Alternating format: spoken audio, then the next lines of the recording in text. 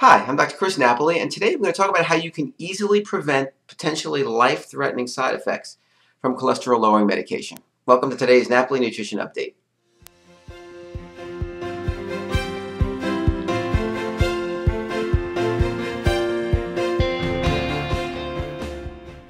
One of the most commonly prescribed medications or medication classes in the U.S. are cholesterol-lowering medications. Uh, we're talking about the statin drugs, specifically, things like Lipitor, uh, Zocor, Crestor. And they're prescribed at that rate because they work. They effectively lower cholesterol. That's what they're prescribed to do, and that's what they do. However, if your ultimate goal is heart health, we have a potentially big problem here. Uh, cholesterol-lowering meds, the statins, work by lowering an enzyme in the liver called HMG-CoA reductase. That's part of the chemical reaction that your liver uses to produce cholesterol. So if you block that enzyme, the, the, the, that chemical reaction stops or slows down significantly and you don't make cholesterol. So it works very well at doing that. Unfortunately, the problem comes in in that that enzyme, HMG-CoA reductase, is also part of the chemical reaction that your body uses to produce a vitamin-like substance called CoQ10 or coenzyme Q10 in your body.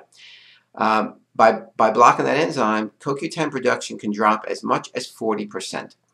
And why is that significant? CoQ10 is needed to produce, in virtually every cell in your body, to produce energy. It's part of the energy production cycle.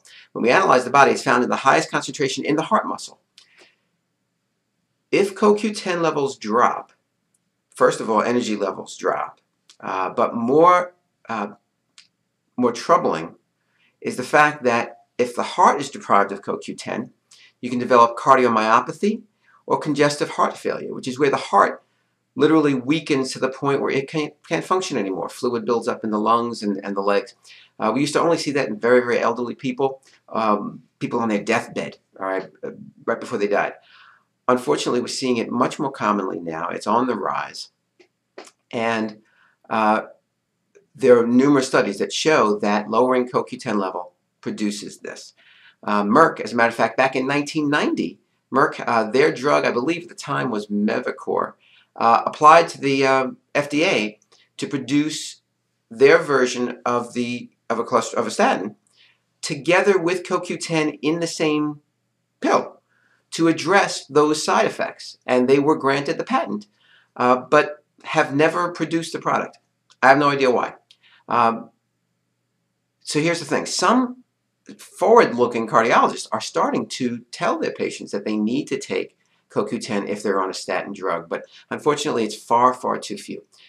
So you need to take this upon yourself and take it. Um, the great thing about it is if you do this, you're completely blocking that side effect of the medication.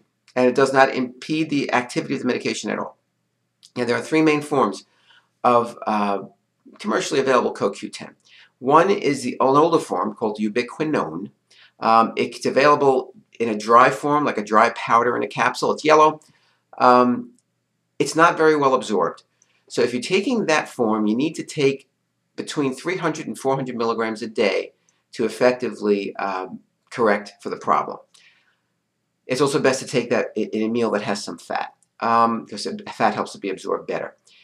The late, more recent version that's come available is called ubiquinol with an OL at the end. It's more absorbable, it's more active in the body, and it's available in one of two ways. Uh, usually in a soft gel, which is going to be absorbed better. Uh, the one that I use in my office is combined with something called Shilajit, which is actually a, a, an herb that helps it to be transported across the cell membranes better so we get bigger bang for your buck. It actually can take less. So the, the standard uh, ubiquinone, you can get away with, ubiquinol, I'm sorry, you get away with taking about 200 milligrams a day, uh, whereas with the ubiquinol and the Shilajit combined, you can get away with taking about 100 milligrams a day. So um, please don't skip this. This is not, really shouldn't be optional because of the potential side effect. And now the newer medications, the new statins, are more potent and people are being kept on them longer and longer. So don't ignore this. All right? Until next time, God bless. Be well.